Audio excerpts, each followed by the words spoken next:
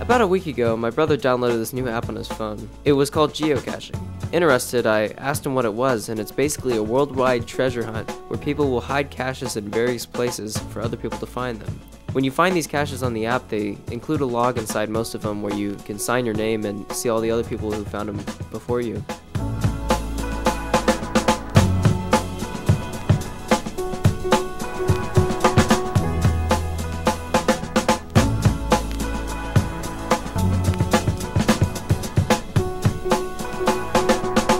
We've been doing it for two weeks now and it's a load of fun. It bugs me how not a ton of people know about it though.